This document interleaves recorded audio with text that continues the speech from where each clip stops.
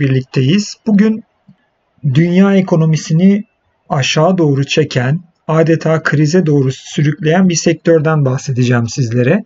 İlk aklınıza gelen sektör muhtemelen emlak sektörü ama o değil. Emlak sektörü hakkında da yine bir video çekmeyi planlıyorum ileride. Bugün size bahsedeceğim sektör otomotiv sektörü. Financial Times bu konuda bir haber yaptı. Motor Industry demişler onlar. Aslında bu otomotiv sektörü. IMF verilerine dayanarak Financial Times bir haber yapmış. Burada şu grafikte yayınladıkları şu grafikte küresel otomotiv talebini görüyoruz. Yani bütün motorlu araçlar talebi yüzdeliksel değişimler satışlarda ve kayıtlarda demişler. Bakın görüyorsunuz 2011'den beri yani 2008 krizinden beri azalsa da bu satışlar hiçbir zaman eksiye düşmemiş ama 2018'de itibaren 2019'un başından itibaren görüyorsunuz dibe doğru gitmiş sürekli azalma meydana gelmiş satışlarda. Otomotiv sektörü neden önemli ve neden küresel ekonomiyi aşağı doğru çekiyor? Çünkü otomotiv sektörü tıpkı emlak gibi birçok başka sektörü de etkileyen bir sektör. Hizmet sektörünü çok fazla etkiliyor. Metal endüstrisini çok fazla etkiliyor. Diğer imalat sanayinde ciddi işler yaratıyor. Elektronik sanayinde ciddi işler yaratıyor. Plastik ve kauçuk sektöründe bir sürü iş oluşturuyor. Yine elektrik suya kadar ve kimyasallara kadar hatta tarım ve madenciliğe kadar geniş bir yelpazede birçok başka sektörü etkiliyor. O yüzden otomotiv satışlarında ta 2008 krizinden beri 2011 yılından beri ilk defa bu yıl ciddi biçimde daralma olması bütün dünya ekonomisini aşağı çekiyor arkadaşlar. Burada yine haberde yine IMF verilerinden şunu görüyoruz. Otomotiv satışları, otomotiv üretimindeki miktarlar nasıldı? Hangi pazarlarda üretim artıyordu, hangilerinde artmıyordu. Çin üretimi sürüklüyordu arkadaşlar. Gördüğünüz gibi şu koyu mavi işaretlenmiş grafikte. Açık mavi Amerika'dan da destek vardı ve geri kalan dünyada kırmızı. Görüyorsunuz geri kalan dünya 2017 yılında bayağı üretim yapmış. Çin bir kısım üretimini devam ettirmiş ama Amerika ve Almanya eksiye düşmüş. Daha sonra da Amerika ve Almanya'nın ardından bütün dünya görüyorsunuz. Çin ve dünyanın geri kalanında eksiye düşmüşler 2018 yılında. 2019 yılında durum muhtemelen daha da kötü. Meşhur kredi derecelendirme kuruluşu Fitch'in baş ekonomisti Brian Colton demiş ki burası küresel yavaşlamanın adeta merkezi haline geldi. Burası dediği otomotiv sektörü. Bu önderlik eden sektör ticaret savaşları nedeniyle hani bir yan etki olarak zarar gören bir sektör değil. Aksine yavaşlamaya aslında önderlik eden sektör. Küresel imalat sanayindeki döngünün işte aşağı dönmesinde bu sektörün anahtar kilit rol oynadığına dair hiçbir şüphe yok demiş Colton. E, veriler de bunu gösteriyor zaten arkadaşlar. Sektör çok geniş ve özellikle 2019 yılında ilk defa daralmaya girmiş. Ülke ülke bakacak olursak Japonya'da otomotiv satışları son verilerde yaklaşık %25 daralmış durumda.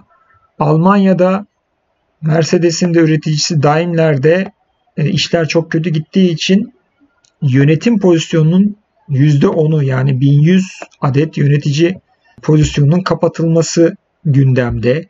İngiltere'de 8 aydır satışlar aşağı gidiyor. En son Ekim ayı verileri açıklandı. %6.7 yine düşüş oldu. Türkiye'de Ekim'de otomotiv pazarı %127 büyüdü demiş Sabah gazetesi. Tabi klasik medya her zamanki gibi bize asıl bakmamız yeri, gereken yeri göstermiyor. %127 bir artış var çünkü geçen senenin aynı ayı o kadar kötüydü ki normale biraz dönmüşüz. %127 artış olmuş ama 2019'un ilk 10 ayında geçen yılın aynı dönemine göre %31.88 daralma söz konusu. Çok ciddi bir daralma. Asıl problemin yaşandığı yerde arkadaşlar Çin. Çin dünyanın en büyük otomobil üreticisi ve tabi dünyanın en büyük otomotiv pazarına sahip şu anda. Eylül ayı Çin'de altın ay olarak değerlendiriyor otomotiv satışları açısından. O ayda bile satışlar düşüş yaşadı. 15 ay üst üste Ekim'de belki düzelir mi demişler ama Ekim ayında da yine %6'lık bir düşüş ki Çin için çok büyük rakam. 17. ay üst üste otomobil satışları Çin'de daralmış. Sadece bir ay yükseliş yaşanmış. O da Haziran ayında çok ciddi indirimler yaptıkları için. Çin'deki binek araçlarda satışların yüzdelik değişimi görüyorsunuz. Şurada 2018'in ortalarından beri satışlar hep eksiye gitmiş. Bunun da sebebi şu arkadaşlar 2018'in ortalarından beri Amerika'da ve Çin'de kredilerde daralma yaşanıyor. Özellikle Amerika'nın öncülük ettiği biliyorsunuz Fed bir daraltma politikasına girmişti. İşte bunlar hep söylüyorum ben. O daraltma politikasının yansımaları. O daraltma politikası otomotiv sektörünü vurdu dünya çapında ve otomotiv sektörüyle beraber imalat sanayileri Amerika'da, Almanya'da, Güney Kore'de e, aşağı doğru gitmeye başladı ve bu da dünyayı şu anda aşağı doğru çekiyor. Bir de ticaret savaşları boyutu var işin. Trump yönetimi 13 Kasım'a kadar bir karar verecek ve bütün Amerika'ya yapılan otomotiv ithalatlarında belki de %25 vergi getirecek. Bunu Wall Street Journal haber yapmış. Bu çok kötü bir şey olur diye. Şu anda Amerika içerisinde kendi partisinden bile bu işe karşı olanlar var ama Trump bu ne yapacağı belli olmaz. Eğer Trump Avrupa'ya, Çin'e ve Japonya'ya böyle bir %25'lik bir ithalat vergisi koyarsa analistlerin yaptığı bir değerlendirmeye göre İlk etapta Amerika'da 195 bin işçi işini kaybedebilir. Fiyat artışlarından dolayı ve pazarın daralmasından dolayı. Eğer karşı tarafta yani Avrupa, Japonya, Çin de Amerika'ya karşı yeni gümrük vergileri koyarlarsa o zaman da iş kayıpları 600 bine kadar yükselebilir diyorlar analistler. Amerikan piyasasına gelecek olursak Amerikan piyasasında bir adeta motorlu taşıtlar kredilerinde tıpkı birçok başka alandaki kredilerde olduğu gibi bir saatli bomba arkadaşlar oluşmuş durumda. Bu toplam kredileri gösteriyor. Otomotiv kredilerini bu grafik. Görüyorsunuz 2005'te zirveye ulaştıktan sonra 2008 krizi şurada yaşanmış. Şu anda da 2005'te 800 milyar dolarken şu anda 1 trilyon 174 milyar dolara yaklaşmış durumda. Yani tarihin en yüksek seviyesine çıkmış durumda. Buradan şöyle aşağı doğru bir gidiş işte yeni bir krizin bize göstergesi olacaktır. Asıl önemli kısım ise şu Amerika'da arkadaşlar.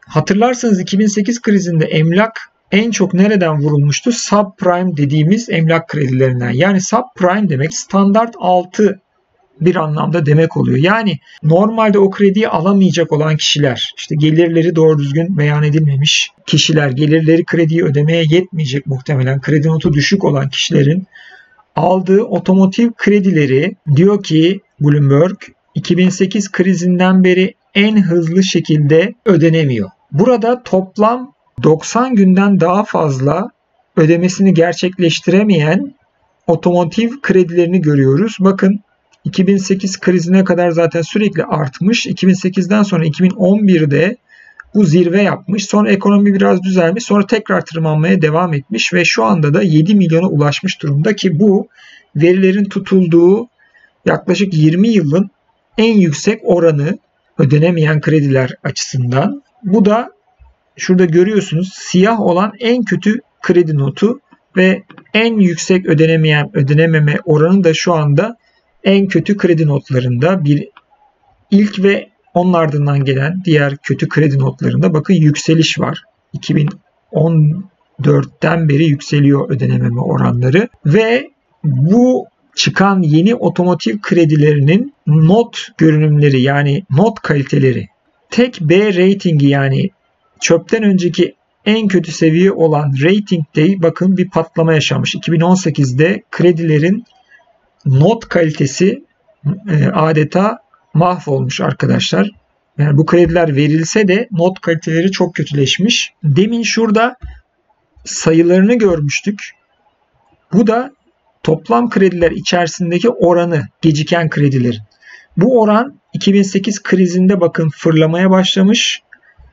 Burada 2011'de en kötü noktasına gelmiş ki burada Avrupa'da da kriz vardı o dönemde. Bankacılık krizi vardı. Sonra normalleşmiş. Sonra 2014'ten itibaren tekrar 2008 seviyesinden tırmanışa geçmiş ve şu anda 2008 krizi seviyesinin çok üstünde ve adeta 2011'deki tepe seviyesine çok az kalmış durumda arkadaşlar.